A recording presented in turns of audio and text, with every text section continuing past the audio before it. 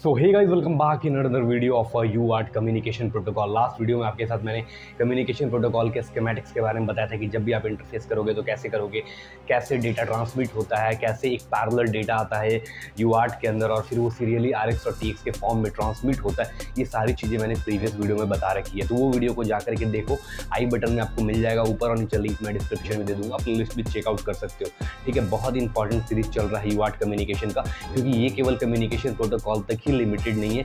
इसे मैं आगे चल करके जब आपके साथ आपको प्रॉपर एक पीसीबी डिज़ाइन करके दिखाऊँगा, उसी पर पर्सपेक्टिव से मैं इस वीडियो को बना रहा हूँ कि आपको ये चीज़ें फंडामेंटली समझ में आए कि एक्चुअल पैरेलल डेटा से हम सीरियली कैसे ट्रांसमिट कर रहे हैं using the parallel in serial out shift register ठीक है, आगे चल करके जब पीसीबी के बारे में बात करेंगे कंपोनेंट्स के बारे में बात करेंगे आईसी के बारे में बात करेंगे तो और भी चीज़ें आपको अच्छे से क्लियर होने वाली है। ठीक है तो वीडियो को कंटिन्यू देखो, आज की वीडियो में बात करेंगे डेटा फ्रेम रेट के बारे में कि जो यू के अंदर डेटा का फ्रेम होता है, वो कैसा होता है, ठीक है? उसके बारे में आज की वीडियो में हम डिस्कशन करेंगे। उससे पहले मैं आपको बताता हूँ, जब भी हम प्रोग्रामिंग करते हैं तो हम किस तरह से डेटा को ट्रांसमिट करते हैं, हम किसी पोर्ट को कन्फिगर करते हैं। जब भी आप माइक्रो कंट्रोलर को देखते हो तो उसमें आपको इस तरह के देखने के लिए मिलेंगे, ठीक है? जैसे कि सपोज़ करो, ठीक है, ये आपका है कोई MCU this is your MCU इसका जब आप इंटरनल देखोगे पिन डाइग्राम तो इसमें कुछ इस तरह के होंगे, ठीक है? लाइक कि P A zero P A one P A two इस तरह से करके फिर P B zero P B seven है ना? पी सी टू ये सब क्या है बेसिक जो पी बी करके आपको देखते हैं, नहीं बेसिक पोर्ट होते हम इसे ही कन्फिग्रेशन करते हैं।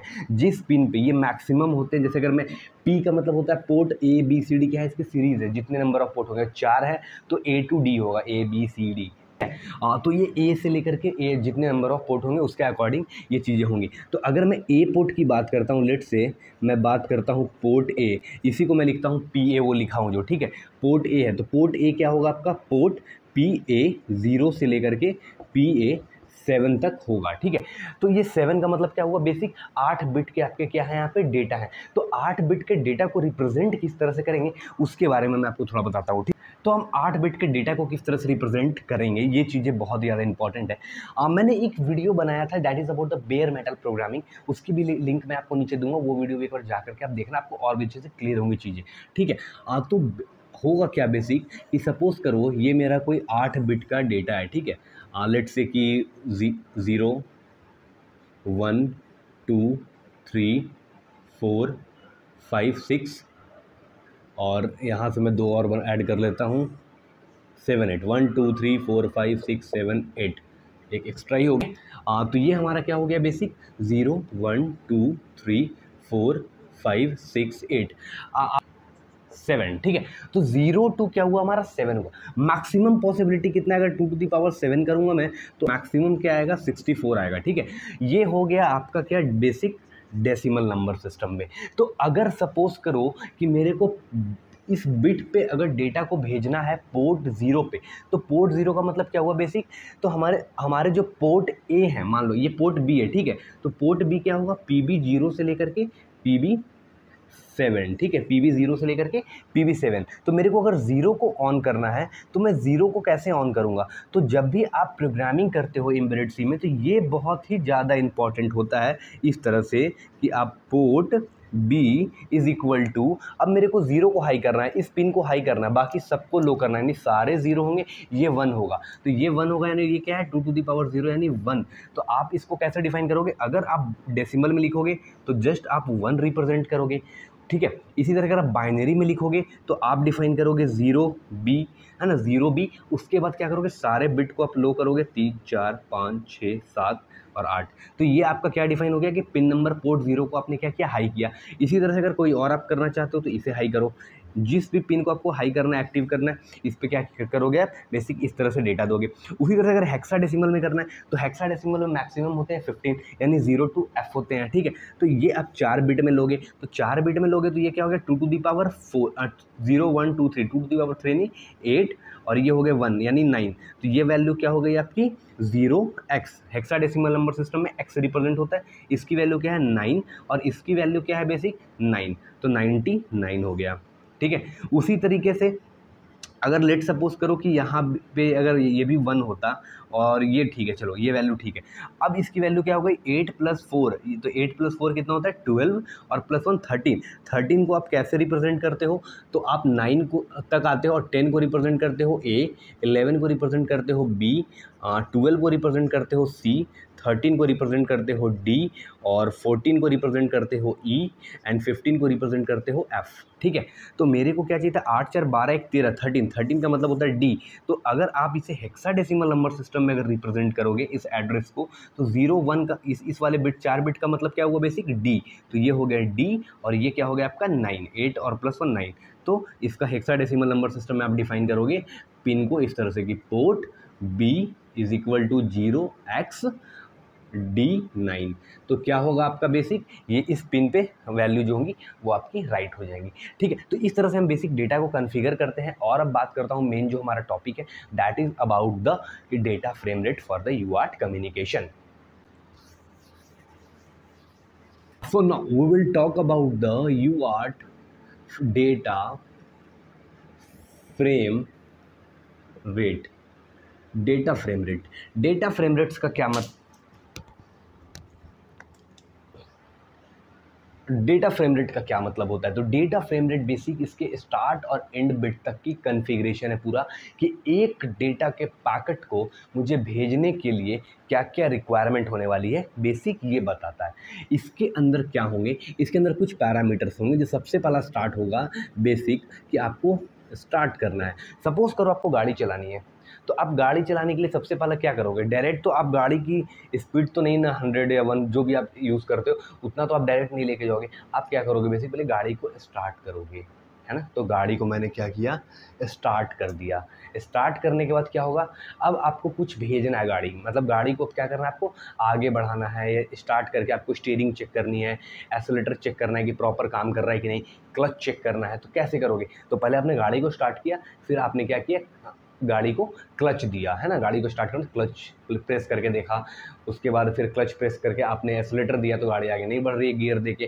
तो ये चीज़ आप चेक कर रहे हो बेसिक, ठीक है? तो ये क्या हो रहा है? डेटा। तो वही काम यहाँ पे करता है कि जो सेकंड पैरामीटर होता है, जिसे हम बोलते हैं डेटा रेट, डेटा, ठीक है? Data frame. सेकंड में अब डेटा होता है। अब थर्ड क्या होता है कि आपने गाड़ी को स्टार्ट किया, गाड़ी को आपने क्लच चेक किया गियर दिया, उसके बाद क्लच प्रेस करके आपने एक्सलेटर दिया तो गाड़ी आगे नहीं बढ़ रही है। क्योंकि नॉर्मली क्लच देने के बाद अगर आप गियर में गाड़ी है क्लच प्रेस कर लोगे तो गाड़ी आपके आगे नहीं बढ़ेगी। अगर क्लच प्रेस करने के बाद भी गाड़ी आगे बढ़ी तो क्या होगा? प्रॉब्लम है गाड़ी में, है ना? गाड़ी में प्रॉब्लम है बेसिक, क्योंकि क्लच प्रॉपर तरीके से काम नहीं कर रहा है। तो ये क्या हुआ? एक एरर हुआ। तो इसके बाद हम चेक करेंगे एरर। और इसे ही पायरिटी बोलते हैं। ठीक है? फोर्थ वन क्या हुआ? अब आपने गाड़ी को चेक कर लिया, सब चीज़ चेक कर लिया तो अब आप क्या करोगे बेसिक? वापस से गाड़ी को बंद करोगे। अगर प्रॉब्लम आपको आ गई तो आप गाड़ी को क्या करोगे? बंद करोगे। नहीं तो गाड़ी लेके आगे बढ़ोगे। तो इसके बाद क्या हो गया बेसिक? स्टॉप। ठीक है?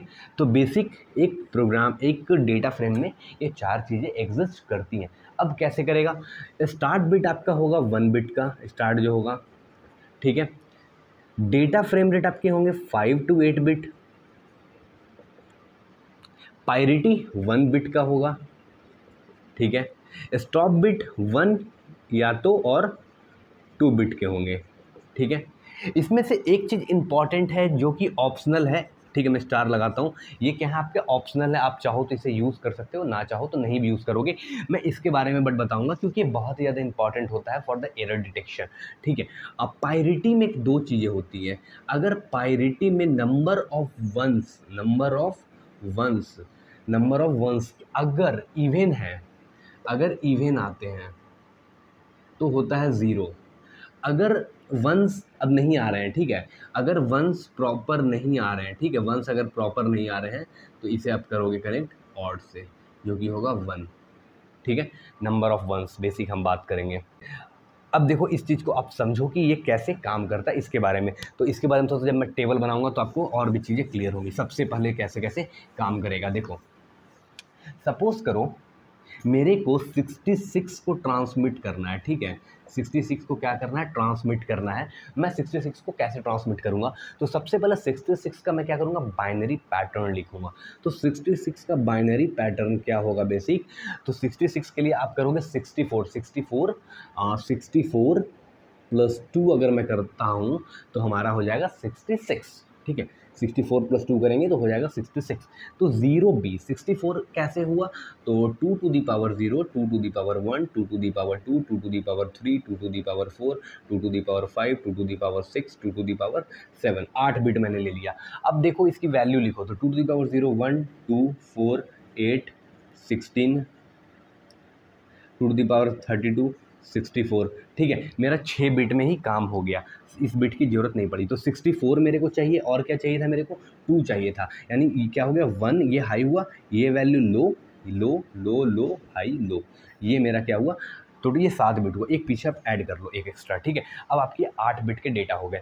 इस डेटा को क्या करना है? मुझे ट्रांसमिट करना है। मैं यहाँ पे लिख लेता हूँ साइड में, ठीक है? साइड में लिख लेता हूँ तो zero one zero zero zero zero one zero ठीक है? ये डेटा को मेरे को ट्रांसमिट करना है। आठ बिट का डेटा है। आठ बिट का डेटा है। ये कैसे काम करेगा? अभी से ट्रांसमिट करके हम देखते हैं। सबसे पहले मैंने बोला कि आपको स्टार्ट करना है। अभी क्योंकि स्टार्ट करोगे तब देखो, दो डिवाइसेस हैं, ठीक है? एक है आपके पास ये device let say UART one है, ये यू आर्ट टू है बेसिक ठीक है? ये है यू आर टू ये यहाँ से क्या कर रहा है? ट्रांसमिट कर रहा है और ये क्या कर रहा है? रिसीव कर रहा है। ये रिसीव कर रहा है, ठीक है? और ये क्या कर रहा है? ट्रांसमिट कर रहा है। ये ट्रांसमिट किया, ये रिसीव किया तो ये ट्रांसमिट किया तो ये रिसीव किया। दोनों सेम टाइम पे होगा, दोनों का सेम कॉन्फ़िगरेशन होना चाहिए। अगर हम, मैंने कुछ डेटा भेजा, मैंने मान लो ये डेटा भेजा, इस जगह की जगह लास्ट बिट पे, मान लो यहाँ से मैंने ये डेटा भेजा और यहाँ पे ये डेटा जो है लास्ट बिट पे चेंज होके ये वन हो गया सपोज़ करो, ठीक है? लास्ट बिट जो है वन हो गया। तो अब क्या हुआ? आपका डेटा तो प्रॉपर आया नहीं। इस चीज़ को चेक करने के लिए ना पायरिटी का यूज़ करते हैं। वो चीज़ें भी अभी आपको क्लियर होंगी, ठीक है? तो हम प्रॉपर जो यहाँ से भेज रहे हैं, वो क्या रिसीव हो रहा है कि नहीं हो रहा? है या ये जो भेज रहा है, क्या मुझे रिसीव हो रहा है कि नहीं हो रहा? है के लिए हम पूरा एक फ्रेम रेट बनाए हैं, जो कि स्टार्ट बिट एंड बिट और पायरिटी बिट और डेटा फ्रेम रेट होता है, ठीक है? चलो, अब आगे देखते हैं।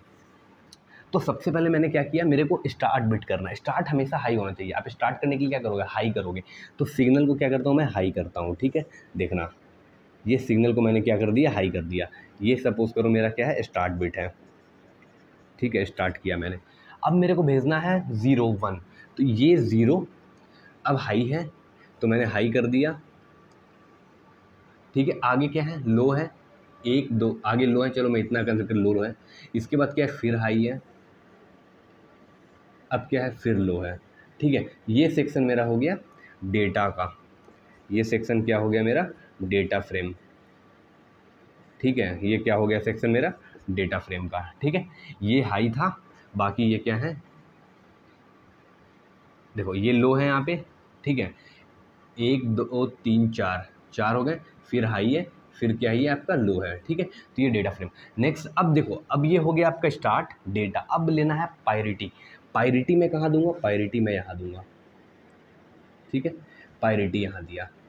और यहाँ मैं दे दिया स्टॉप बिट तो स्टॉप बिट भी क्या हुआ? हाई हो गया लो हो गया। ठीक है?